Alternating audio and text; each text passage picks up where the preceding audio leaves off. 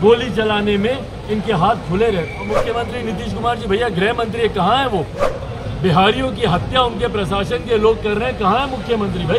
तुरंत प्रधानमंत्री से जवाब वो मांगते हैं कि प्रधानमंत्री को मणिपुर में बोलना चाहिए। कटिहार फायरिंग को लेकर बिहार की सियासत करवाई हुई है।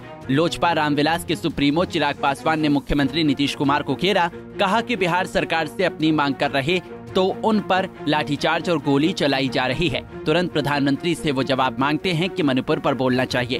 क्या मुख्यमंत्री को कटिहार पर नहीं बोलना चाहिए? गोली चलाने में इनके हाथ खुले रहे और मुख्यमंत्री नीतीश कुमार जी, भैया, गृह मंत्री कहाँ है वो? बिहारियों की हत्या उनके प्रशासन के लोग कर रहे हैं। कहाँ है मुख्यमंत्री भाई?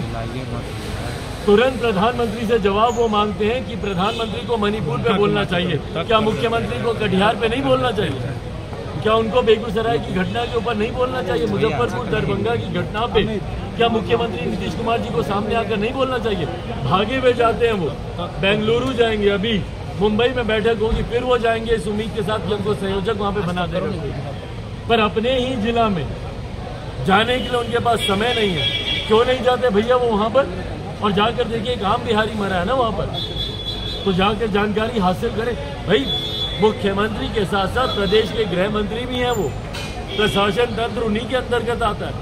तो जो मुख्यमंत्री ये मांग करते हैं कि प्रधानमंत्री को बोलना चाहिए मुख्यमंत्री को भी इन विषयों के ऊपर बोलना चाहिए और कम से कम अपने प्रदेश में तो जाए मुख्यमंत्री जी। ऊर्जा मंत्री तो कहते हैं कि जब लोग दंगा करेंगे तो भाई बस यही अब रह के यही तो बोले ना। आईपीसी की सारी धाराएँ खत्म कर दीजिए भैया कानून की किताबों को जला देंगे। इनके पास सिर्फ़ लाठी गोली ही एक समाधान बचा है। बात आप किसी से करेंगे नहीं। समस्या का समाधान आप निकालेंगे नहीं। तो क्या करेगा भैया? कल को एक बिहारी। छात्र आज भी परेशान है। भैया तीन तीन साल के कोर्स के लिए कल हम लोग गए थे परसों गवर्नर के साथ हम लोग की बैठक थी। इनके सत्ता पक्ष के जितने लोग हैं बिहार से उन सबने बाइकआउट किया उस बैठक भाई वहाँ पे जाते वहाँ पर जाकर गवर्नर के सामने आप अपनी बातों को रखते हम लोग तो गए भैया। हम लोगों ने रखा। उच्च शिक्षा को लेकर जितनी अनियमितता यहाँ पे बढ़ती जा रही है। तीन साल का कोर्स पाँच पाँच छः छः साल तक यहाँ पे समाप्त नहीं होता। वैकेंसीज पड़ी हुई है वहाँ पे। उसको नहीं भरा जा रहा है। कोर्सेज कंप्लीट नहीं हो रहे इन तमाम बातों को अगर कल को लेकर के छात्रों में अगर आक्रोश और बढ़ता है तो क्या करेंगे? गोली चलाएँगे। अभी तक अभ्यर्थियों के ऊपर जिस तरीके से आप अत्याचार आप कर रहे हैं, शिक्षक अभ्यर्थियों को लेकर।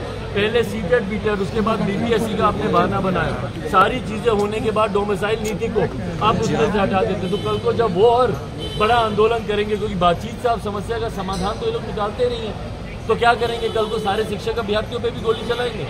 किसान सलाहकार जो सड़क पर आते हैं बार बार उन पर गोली चलाएँगे। पासी समाज के लोग आज ताड़ी को लेकर इतने अभी तक उनकी समस्या का समाधान नहीं निकला। तो कल को उनके तो एक ही बात नियम बना ही दीजिए ना भैया, कि जो सड़क पर उतरेगा, सांसदों के ऊपर आप इस तरीके से लाठी चला जब भारतीय जनता पार्टी के तमाम लोग उतरे थे, उनके विधायक, उनके सांसद, किसी का सर बूटा, किसी का हाथ बूटा कार्यकर्ता तो एक ही बार मुख्यमंत्री नीतीश कुमार जी बता देना कि भैया, यहाँ पर एक महाजंगल राज चल रहा और इस महाजंगल राज में कानून की कोई भी धाराएँ यहाँ पर नहीं इस्तेमाल की जाएँगी। यहाँ पर सिर्फ़ लाठी इस्तेमाल की जाएगी और उस पर भी अगर आप लोग नहीं खामोश हुए तो गोली आपको लोग आपको बता दें कि कटिहार के बारसोई में बिजली की नियमित आपूर्ति को लेकर प्रदर्शनकारियों पर फायरिंग में दो लोगों की मौत के मामले में कटिहार के जिलाधिकारी रवि प्रकाश और पुलिस अधीक्षक जितेंद्र कुमार ने दावा किया है कि पूरी वारदात एक सोची समझी साजिश थी। घटना स्थल से सीसीटीवी फुटेज के नए तथ्य भी सामने आए हैं, जिसमें ये साफ़ दिख रहा है कि एक लड़का आया और दोनों को गोली मारा। पुलिस वालों और मृतकों के बीच काफ़ी दूरी थी। पुलिस की गोली से खुर्शीद सोनू की मौत नहीं हुई है। पंजाब के टीवी के लिए पटना से संजीव कुमार की रिपोर्ट।